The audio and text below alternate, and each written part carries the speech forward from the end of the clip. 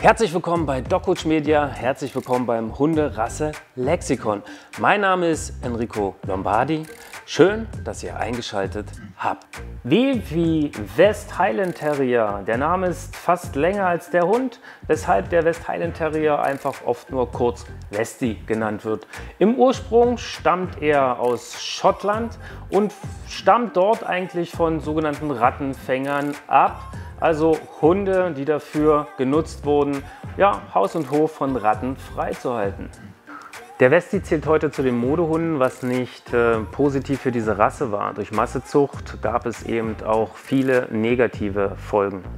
Ein gesunder Westi zeigt sich als sehr robust, familieninteressiert, familienfreundlich, äh, intelligent und ähm, ja, lebhafter Hund und ist somit auch zu den Anfängerhunden zu zählen.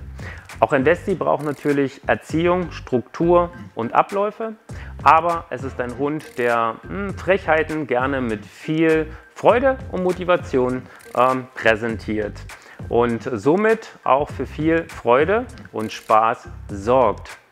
Mit 28 cm Schulterhöhe und bis zu 10 Kilo Gewicht bringt der Westi gute Voraussetzungen für ein Zusammenleben, auch innerstädtisch, mit. So, ihr Interessierten und Interessiertinnen, das war's für heute. Ähm, ich würde mich freuen, wenn ihr unseren Kanal abonniert, sofern ihr es noch nicht getan habt.